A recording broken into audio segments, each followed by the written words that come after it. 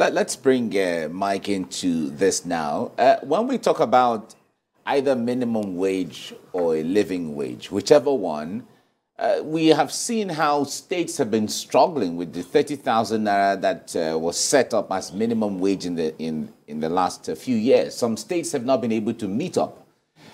Even at that, some states are still owing salaries of up to six months, one year, 17 months, 15 months, and counting. So when we're moving, talking about the next step, uh, the, the, template that uh, the president-elect wants to bring on board, I wonder what you envisage when we talk about the capacity of states to also play along uh, for, for, for them to enjoy this, because it's not only federal workers, we're also talking about people who work at the state level and also at the local government level. Um, very good question. It's not just about uh, the states in fact, or the local government, I, I, will also think about the private sector. Against the minimum wage mm-hmm. law, it's not just for the public sector. The minimum wage law is for the entire economy. So for the economy to be able to afford the, uh, the ability to pick up uh, an increased minimum wage, then that economy must expand. So it's, it's the, when you're talking about living wage, it's not just about uh, the federal government's capacity to pay more, or the state government's capacity to pay more, or the local government's capacity to pay more. It's also about the private sector's capacity to pay more, which is a factor of economic growth and economic condition of the country. Which brings me to the issue of first, the federal government. The federal government's ability to pay more is directly indexed to the ability of the federal government to mobilize more revenue. And as my colleague in the GC2 already said, uh, let's even take out the waste. The direct wastes are easy to track. Uh, you buy an extra paper, you buy an extra air condition, you buy any locks every year. Those are very easy. At best, you'll be able to save half a trillion naira because the total capital expenditure of the federal budget today is about 5.6 trillion naira in a, in a budget of 20.75 or 20.73 trillion. Only 5.6 or thereabout is devoted to capital expenditure. So let's say the waste is even 10% or 20% or even way more than that, 2 trillion, which is clear, clearly impossible. 2 trillion of the 5.7 is wasted. Let's assume. Uh, we recover that, but you're still just improving your deficit by less than 20% because the total deficit in the budget is about 10.5. The question is, how do you reach 10.5 trillion of deficit that the federal government is facing today? First and foremost is waste by policy. The number one waste by policy is this subsidy issue. We are spending 5.5 trillion by way of under recovery. So if you look at the budget today, 1.75 trillion of that budget is devoted to, uh, is, is said to come in, revenue is said to come in from the oil revenue, which is not true. We should be making about 6 to 7 trillion, but because we are doing under recovery through fuel subsidies, we're ending with 1.75. So automatically, you can see that Nigeria has an arithmetic problem. We do not have a revenue problem.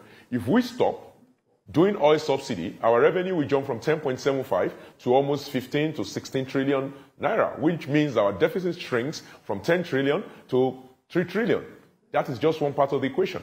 The second part of the equation is the fact that we are currently converting, under converting the foreign currency that we're earning from oil and gas, we are under converting it using the so-called official rate, while Nigerians live in the market and the reality that we are, our currency is actually trading at double the price. So the government is converting currency today at 420, 430, 440, but the reality is on the street, it's 740. So therefore, if I just take the component of the oil, oil and gas uh, uh, revenue in the budget today and I double it, it means that I'm looking at two to three trillion surplus, not deficit.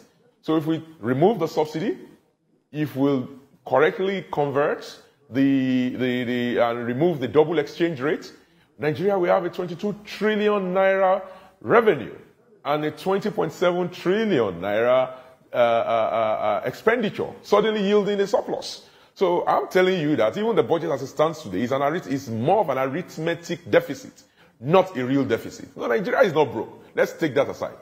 Now let's explore the other sources of revenue of the federal government. We're talking about the reality of excise duties, import duties, and everything that should be better enforced. Let's talk about the reality of the federal government to be able to tackle mineral uh, resources as another source of revenue. If you grow the economy, the corporate income tax is also going to grow. The federal government has these three as the primary sources of its revenue. Now let's go to our state and local government. They even have more sources of revenue than the federal government. While the federal government is limited to uh, natural resources, capital, uh, corporate income taxes, and excise duties and import taxes, the state government can make money from property taxes, from personal income taxes, from levies and development fees. They can make money from land use charges. The sources of revenue for our state government is largely unlimited, excluding the three sources of revenue for the federal government.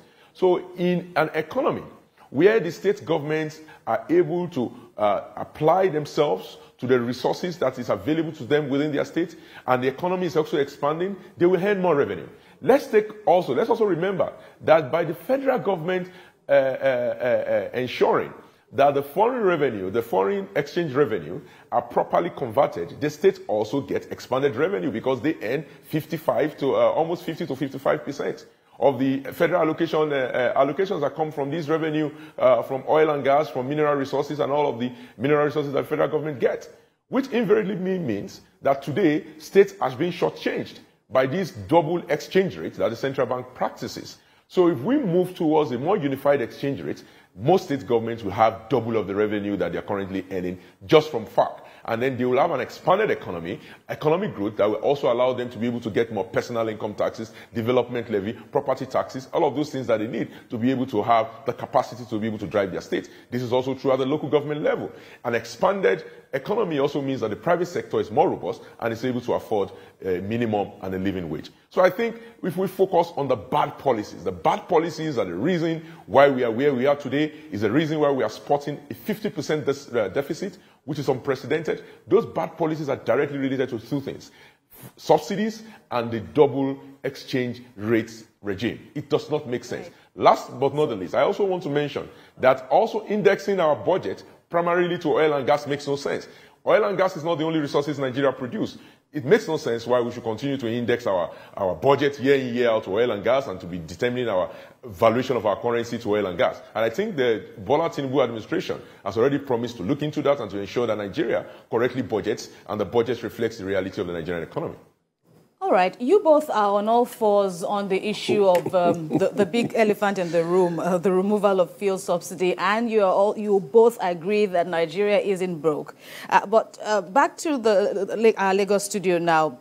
If it has been said, if indeed it is the common sense solution to remove uh, fuel subsidy, and um, Asiwaju Tinubu has said he would do so, but you would both recall that you know previous governments had said they would. Even the exiting government had said he would, and then he pushed back the date for the removal. And of course, we all witnessed the, the strike and its impact, how everywhere was shut down due to the removal before it was now uh, reversed. But what needs to give to prevent, you know, we're still the same people, uh, so to speak, it's still the same set of Nigerians. Mm -hmm. And what, what needs to give now to give acceptance to the fuel subsidy removal regime? Because uh, Tinubu has said he would make some um, difficult decisions, but these decisions need to be made. So if this includes um, the difficult situations, decisions that he needs to make, and he has said he would, what are you hoping to see now from